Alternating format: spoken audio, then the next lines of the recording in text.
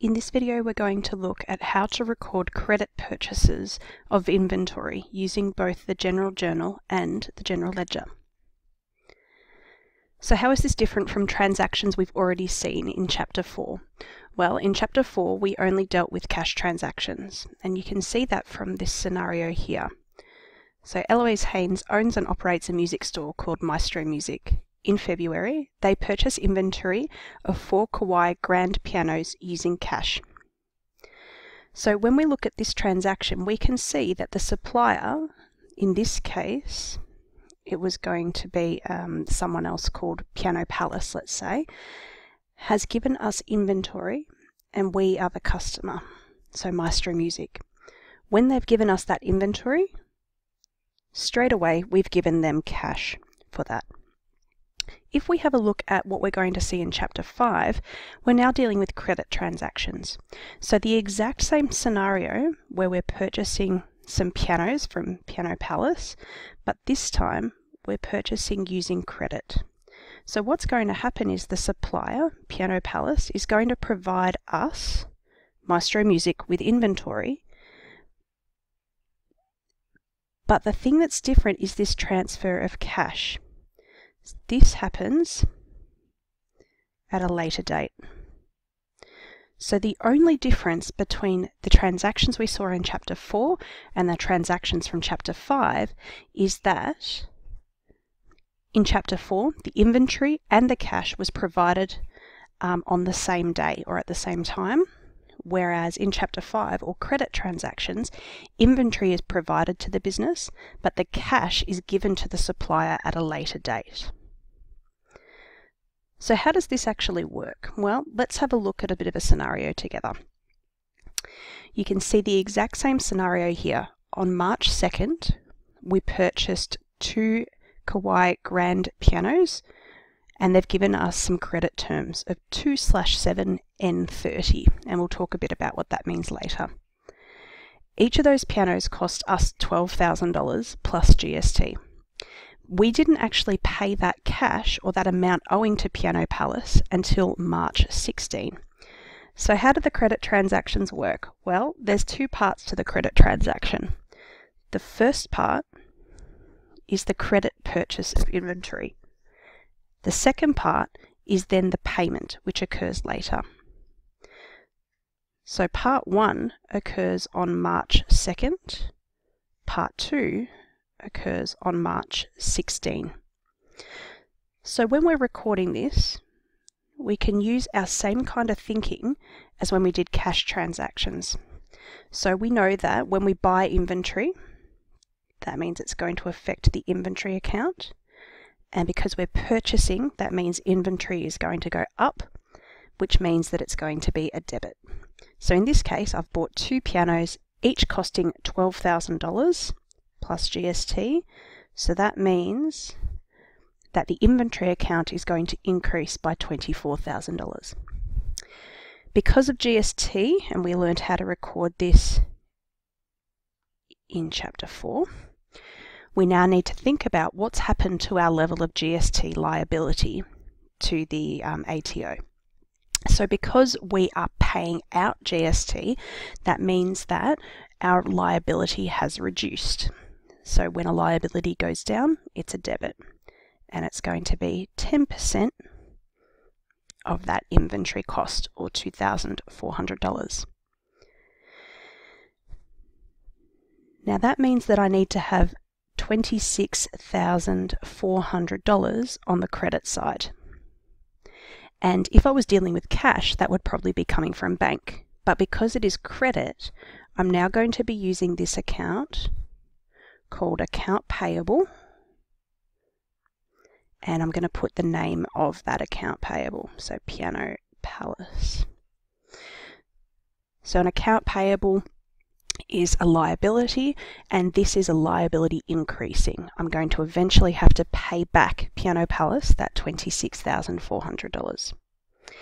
So I need to do a narration as well and my narration will probably say something like purchased two Kawai Grand pianos on credit.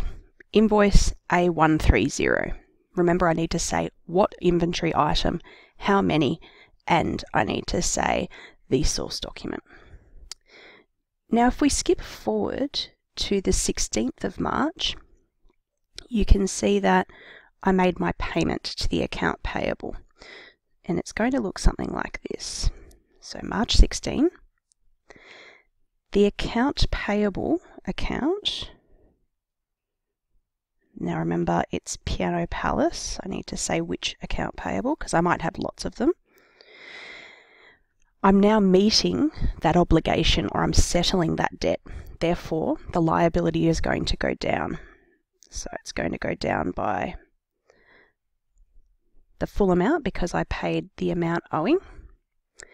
And when I'm paying that, I'm finally giving them cash. So the second account that's going to be affected is going to be bank. So you can see here that the difference is when the cash is transferred. In a cash purchase, the cash would be transferred at the time we bought the inventory, but with credit, it goes to account payable and then we meet that obligation later.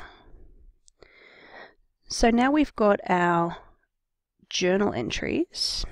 We now need to transfer that into our general ledger. So you can see on the right there that I've got my journal entries and if we just break those up again, remember that this one here was the purchase of inventory.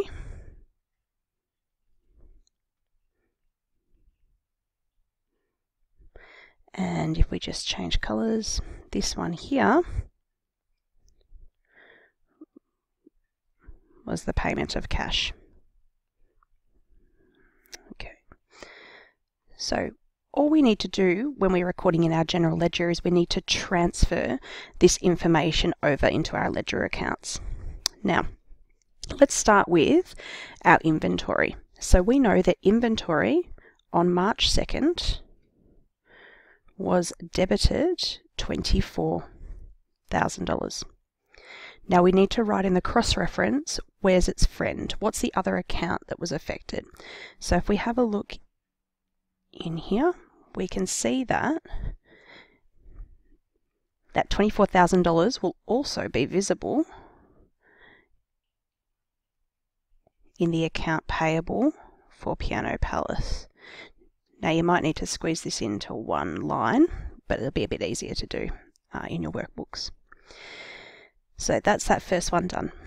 I need to record the GST clearing. So March 2nd, still on the same date, I debited my GST clearing by 2,400 and the second account that's affected or where else I can find that 2,400 is in account payable.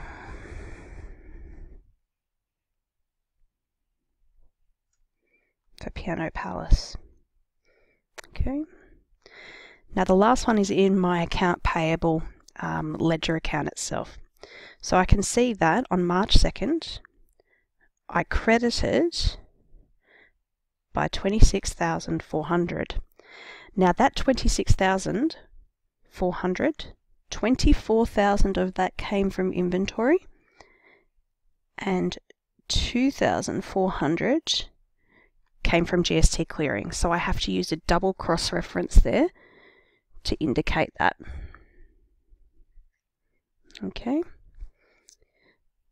So that's my transactions done on March 2nd, but I also need to record what happened on the 16th. So on the 16th of March, bank was credited 26,400. So March 16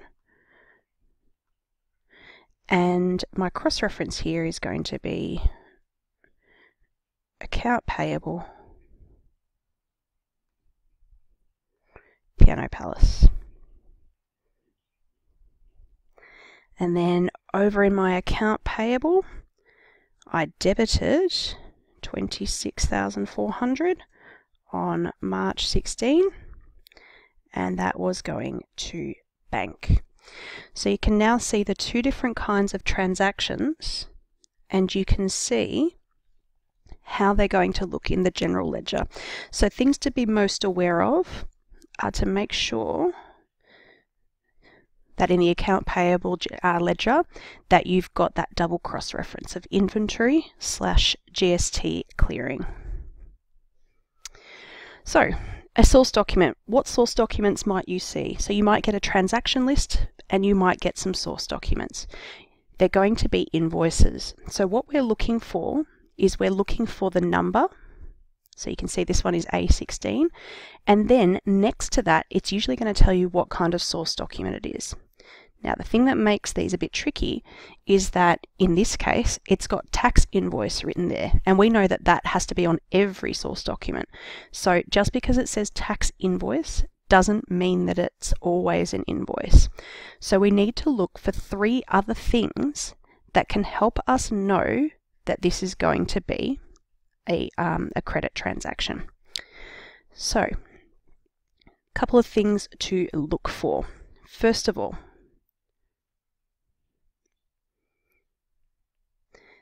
these are what we call our credit terms. So whenever you see terms on there, that's going to tell you that this is um, a credit transaction. The terms tell you how to repay and when to repay, I should say. So the second thing is this charge to. So you can see that charging someone, you're usually going to charge them on credit. So that's a second hint you can use. The third thing is often source documents will have the amount that's paid so far. And you can see here that we've paid nil or nothing. So that means that we still owe some money and you can see here it's $2,475. So there's lots of things that you can be looking for to help you understand whether this is a cash or a credit transaction. The most common thing to use is going to be these terms. So reading credit terms. What do these numbers and codes actually mean? it's going to tell you two pieces of information. The first piece of information is the amount of discount that you'll be given from the total if you pay early or if you pay um, quickly. The second thing is going to be when the total amount is due. So looking at these terms 5 slash 7 n slash 30, what this means is the business will receive 5% discount if they pay within seven days. If you don't pay within those seven days, then you owe the full, and we use this word net amount is due in 60 days. So the number that comes first before the slash is always going to be the amount of discount. The number that comes after the slash is going to be the number of days that you have. So what you may like to do now is have a look at the five examples of credit terms that we've got on the left here and take some time to talk about them with someone else to look at what do these credit terms actually mean. Remember that the first part is around the discount and the second part is around the full amount.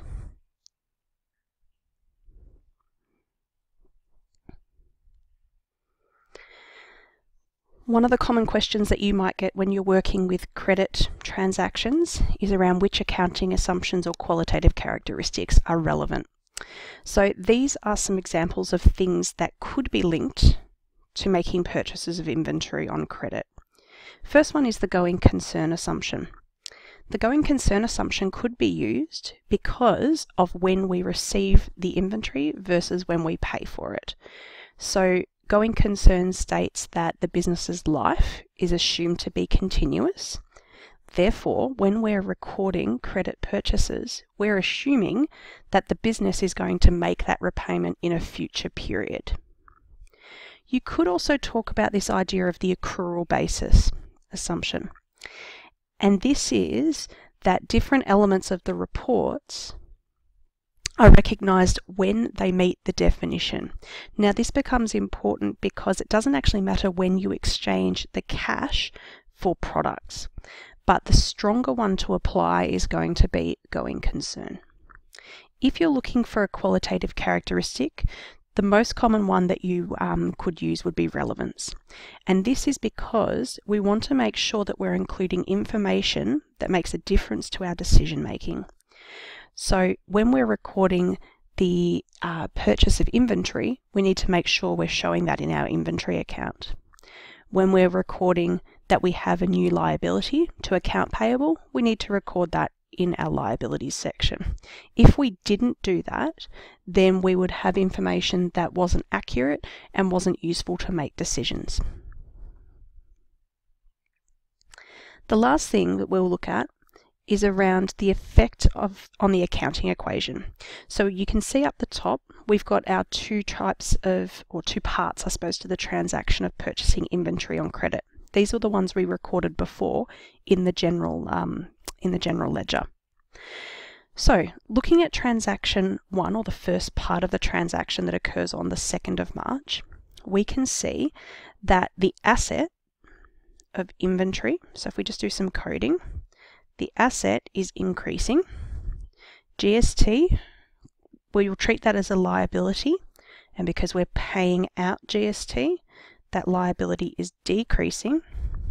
And account payable, well, that's a debt that we owe to somebody. And because we have got this inventory for, um, from them, but we haven't paid for it yet, that liability will increase. So transferring that information into one of these tables, which you often see in um, assessments, we can say that inventory increased by 24,000.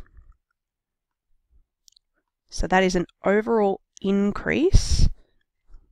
Remember that we need to say what the overall effect is. And the overall amount would be 24,000. Now in the liabilities, there's two things being affected. GST, okay, GST clearing is going to be going down by 2,400. The account payable is going up by 26,400. Now remember, you don't need to write this detail in these tables. I'm just doing this to show you the working out. So overall, there is an increase of 24,000. And we can see from our information up here, there's no owner's equity accounts being affected. Therefore, we just write no effect. Make sure you write no effect in there, otherwise you won't get that third mark. So, the second part of the transaction is the 16th. On the 16th, we made that payment. So we can see that bank is an asset and our bank is going to go down because that money is now going to the account payable and we've now settled that debt with our liability. Therefore, the liability is going down. So what does that look like in a table? Well, we would see bank go down 26,400. So overall, there would be a decrease